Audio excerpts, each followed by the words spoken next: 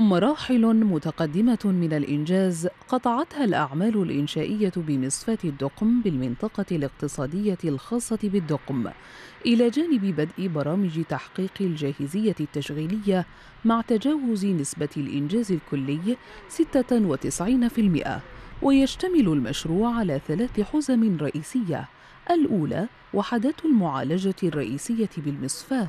والثانية المرافق والخدمات.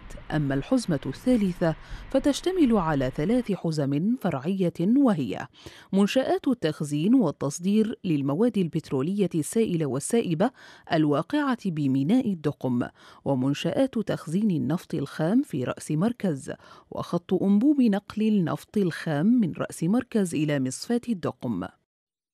كما تشتمل المصفاة وهي مشروع مشترك بين مجموعة OQ وشركة البترول الكويتية العالمية على عشر وحدات معالجة رئيسية قادرة على إنتاج الديزل ووقود الطائرات وغاز البترول المسال والكبريت والفحم البترولي حيث تعد مصفاة الدقم أول مصفاة خليجية تعتمد على النفط الخام المستورد في عملياتها وأكبر مشروع استثماري بين دولتين خليجيتين في قطاع المصافي والبتروكيماويات.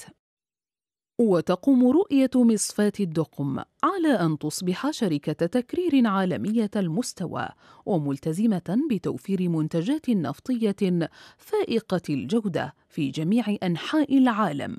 الأمر الذي من شأنه أن يعزز النمو الاقتصادي في منطقة الدقم فضلا عن تعزيز المكانة التكريرية لسلطنة عمان لتتجاوز 500 ألف برميل يوميا من المنتجات المكررة عند بدء عمليات مصفاة الدقم التي تبلغ طاقتها 230 ألف برميل يوميا وقادرة على التعامل مع مختلف أنواع النفط الخام.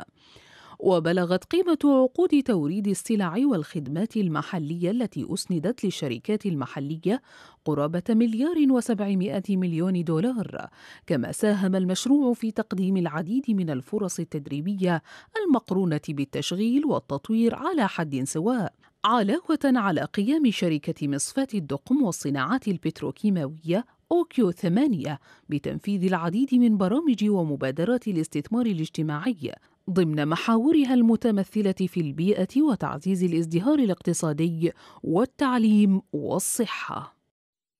ويوفر المشروع فرصا وظيفية مباشرة وغير مباشرة وفرصا تنموية وتطويرية لمشاريع أخرى ترتبط بالمصفاة إلى جانب أنها بمثابة خط الانطلاق لخط تحويل الدقم إلى أحد أضخم المراكز الصناعية والاقتصادية في المنطقة.